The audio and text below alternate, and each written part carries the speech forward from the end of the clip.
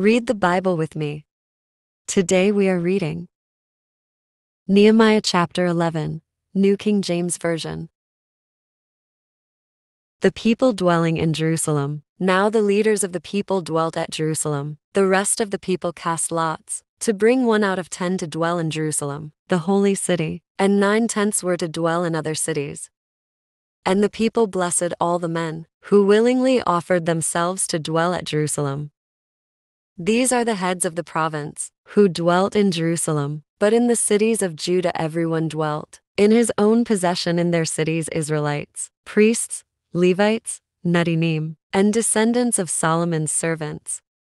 Also in Jerusalem dwelt some of the children of Judah, and of the children of Benjamin, the children of Judah, Athaiah the son of Uzziah, the son of Zechariah, the son of Amariah, the son of Shephatiah, the son of Mahalalel, of the children of Perez.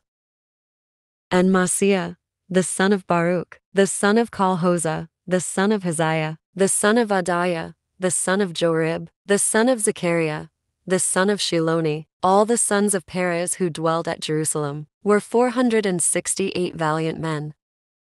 And these are the sons of Benjamin, Sallu the son of Meshullam, the son of Joed, the son of Pedaiah, the son of Kolaiah, the son of Maaseiah, the son of Ithiel, the son of Jeshaiah, and after him Gabbai and Sallai, 928.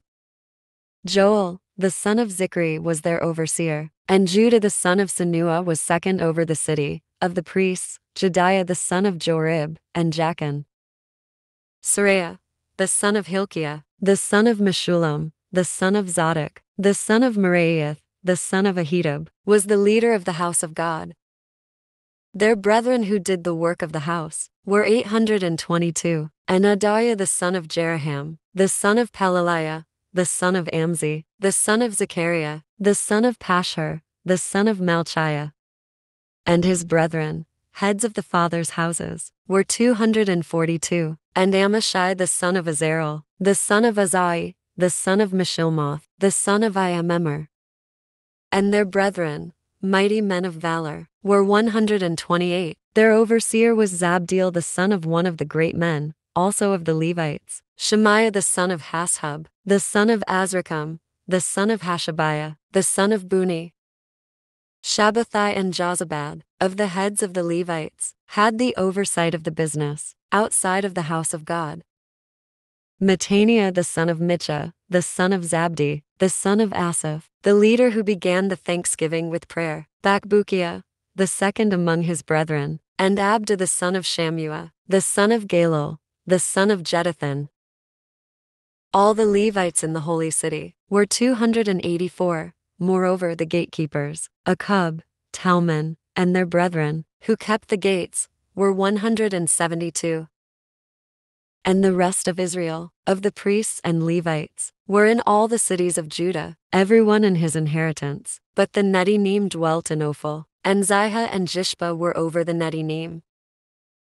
Also the overseer of the Levites at Jerusalem was Uzzi the son of Bani the son of Hashabiah, the son of Mattaniah, the son of Micha, of the sons of Asaph, the singers in charge of the service of the house of God.